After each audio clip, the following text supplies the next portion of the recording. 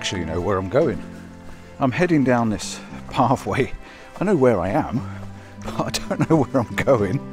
Anyone got a clue how to find the little lone tree down at uh, Derwent Water near Keswick? Because I don't. Anyway, I'm parked up in the Cat Bells car park, and if you didn't see my last video, it's a bit of a weird video, but I went up Cat Bells for sunrise. So I thought to myself, I need to see this lone tree. I need to see what the craze is about, what the fuss is about, see what it looks like. I thought I'd come down to the water's edge, if I can find it, find this lone tree sort of thing that sticks out the side of the cliff, if I can find it, and do some reviews and make a video. So, let's see if we can find it.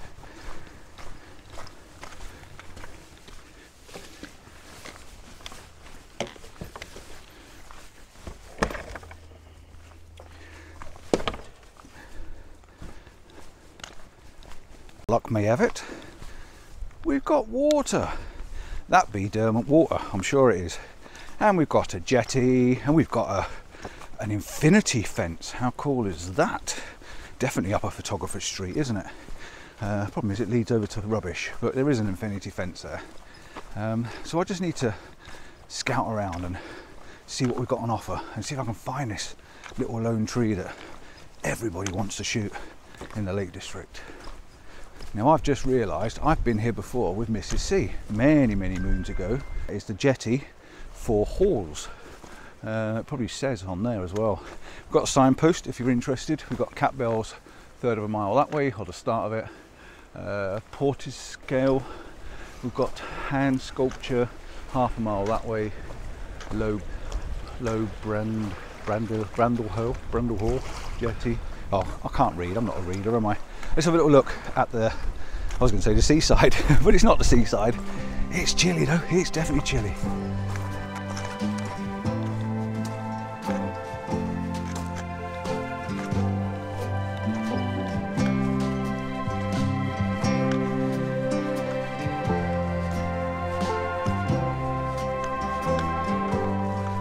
This pathway leads all the way around Derwent Water.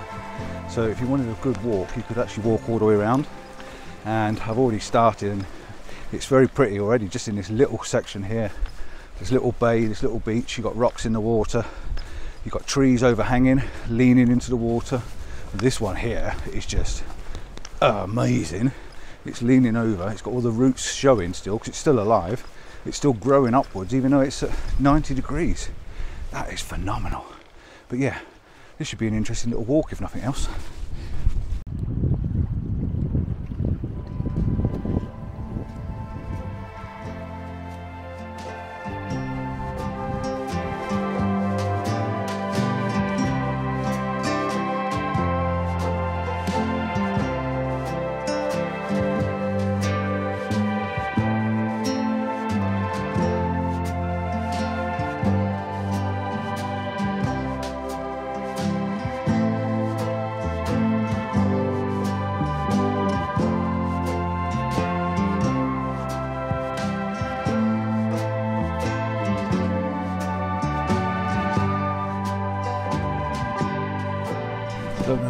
finding the uh, tree sticking out the rocks, but the roots are fascinating.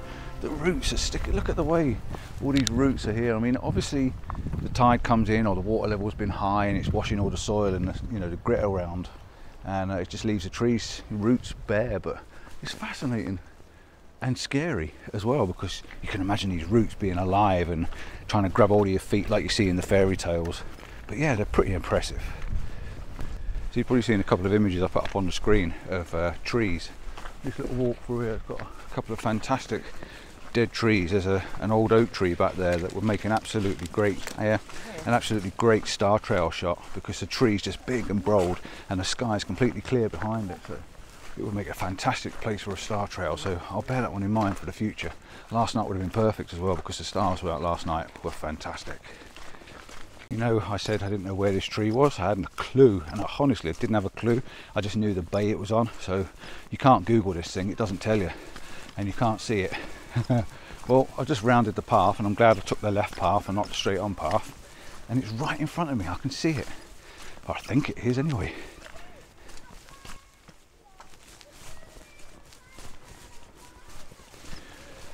So I've managed to get my camera set up in a quite a nice position. Uh, the, the trees, the classic tree leaning right out, sticking out in the rocks. Um, by bringing my tripod right over to the edge of the cliff and I'm glad I brought this tripod with me with the extension on it I really am pleased I've got the camera right up as high as it possibly goes which is about I don't know just well my head height's 5'8 so it's just above my head height um, we've got blue skies which is not ideal but we have got some snow on the mountains behind uh, Blencathra I think that is um, so I'm focusing on the tree and I've got a leading line from the bottom left hand corner leading me up and then I've got the tree nice and prominent in it as big as I can zoomed in which means I can see the mountain a little bit behind it as well then. Um, and it seems to work really really well. So I've got my two second timer on I'm F8 I'm going to try one at F11 just to see if I get a bit more depth out of it.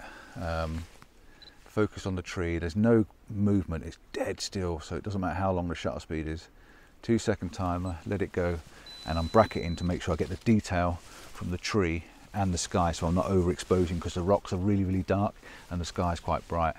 Um, there is some cloud coming across which if it does might make it a bit more interesting. Um, I'd like to take a horizontal one but I'm not quite sure. I think it's too much empty space on the left hand side but maybe a horizontal long exposure. But what I am going to try is by putting a polarizer on and see if that makes any difference whatsoever so we'll give that a go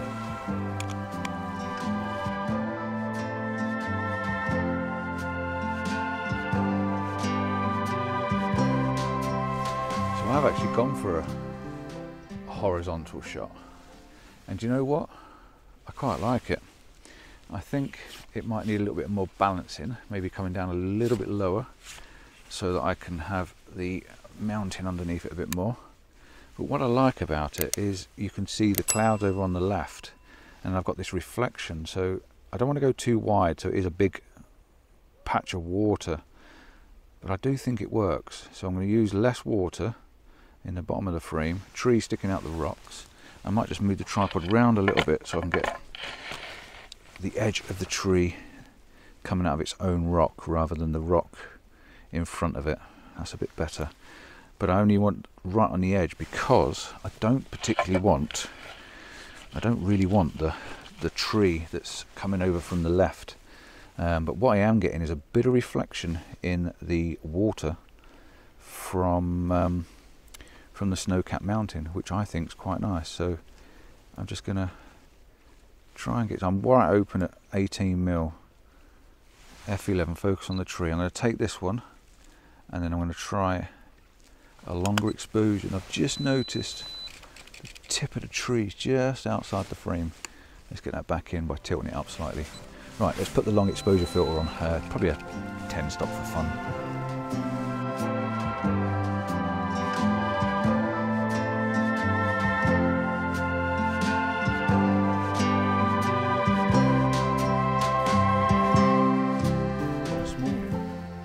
Up on the top of there in the dark, pitch black, right up on the top waiting for sunrise. If you haven't seen that video, do check that video out. Well worth it. I'll put a link up in the top corner for you.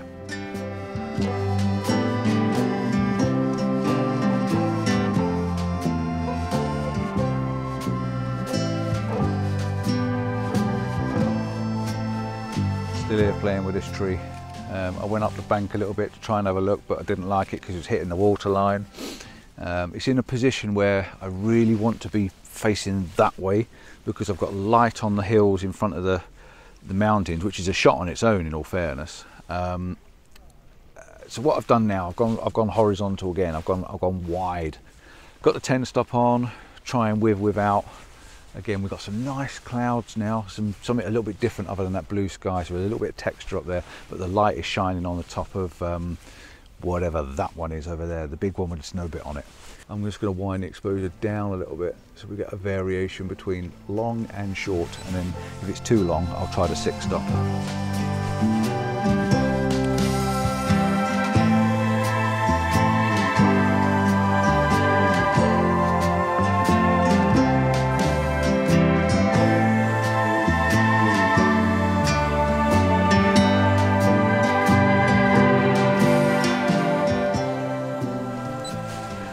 Come round up onto the top, um, sort of looking from the top down on top of the tree.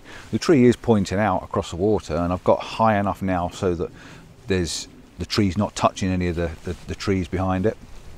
Um, but the light's gone off the top of the mountain now so you're not getting that quite that same glow. So what I've plumped myself for is a long exposure and it's smoothed out all the water so it's made it quite interesting and what it is doing is you're just getting that glow on the on the bark on the side, which I quite I quite like. It's an interesting shot. I'm not I don't remember seeing one like that before, so uh, it's definitely worth playing with. I think I could just do with going in a bit tighter as well, really, but I think I'll leave it as it is. But like I say, there's there's no there's no cloud or anything now, uh, no colour, no light, so it's a very boring, you know, flat image. Um, but the long exposure does make it a little bit fine arty, if there's such a word.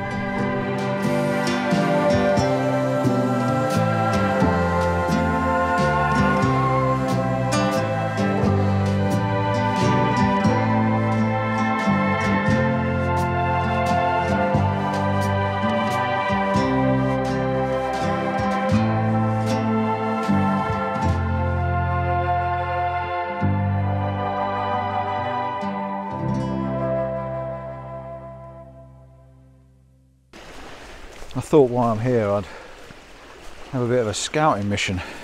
Just have a look and see what's around. I mean these boulders, these boulders look great. And you've got a big boulder out there, you've got rocks all the way along the side down here as well. So this all looks pretty interesting, so it's worth having a bit of a scout while I'm down here.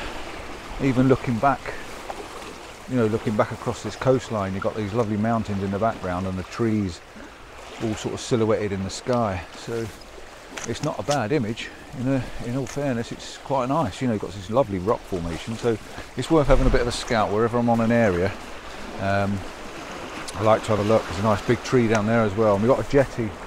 So I wonder if it's worth finishing off with a long exposure of the jetty. What do you think?